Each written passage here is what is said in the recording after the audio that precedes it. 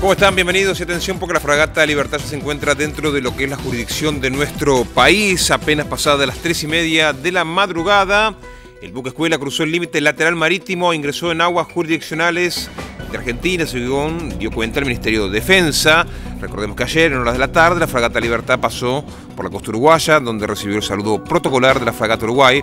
El buque oriental salió al encuentro de la nave argentina y la escoltó en aguas del Río de la Plata, todo preparado, todo para esperar a nuestra fragata Libertad en la ciudad de Mar del Plata. Por supuesto, será información y lo vas a poder ver a través de nuestra pantalla de la televisión pública. Hoy a las 20 toda la información, los esperamos en Visión 7.